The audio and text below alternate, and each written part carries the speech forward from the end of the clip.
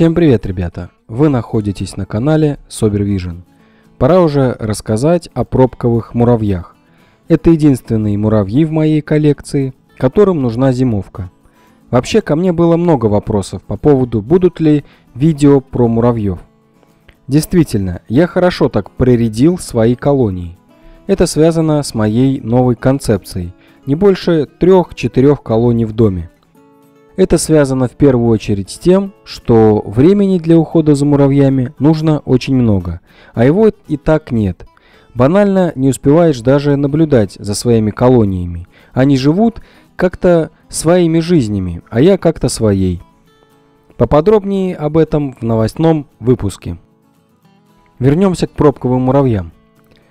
Они имеют свои неповторимые особенности – Поэтому думаю, что их я по-любому оставлю. Эти муравьи у меня зимовали.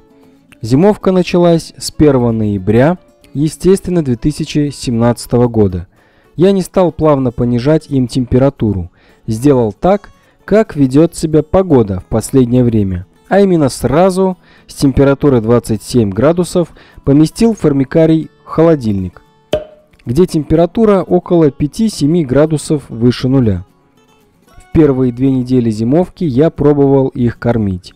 Но потом, глядя на их апатичное состояние, полное отсутствие интереса к чему-либо, я отказался от этой дурацкой затеи. Единственное, что я делал, так это раз в две недели увлажнял гнездо. 1 марта я вывел их из этого состояния, сразу поместив в комнатную температуру. Зимовка прошла с небольшими потерями – умерло около 3-4 муравьев. Кроме этого, из-за повышенной влажности в двух камерах образовался небольшой плесневый налет. Этот же налет я заметил и на арене. Конкретно на самом бревне и элементах декора. Оттуда налет был удален. Сказать, что муравьи сразу стали суперактивными в плане появления новых яиц нельзя. Да, колония теперь не была в состоянии восковых фигур. Муравьи в привычной себе манере делали ночные вылазки за едой. Даже стали таскать лапки от тараканов в свое гнездо.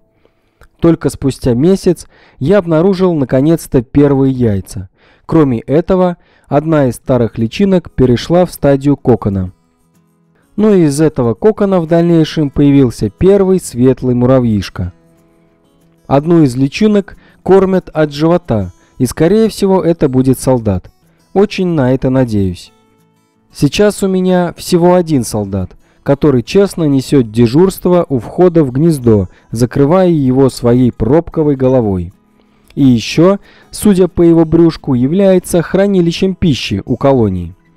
Хотя может просто коррупция, отбирает часть еды у входящих муравьев. На арену я добавил поилку – После этого брюшки у всех муравьев заметно увеличились, что не наблюдалось при кормлении сиропом.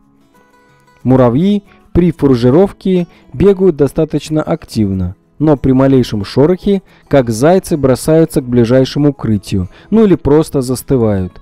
Такого поведения у других своих муравьев я не встречал.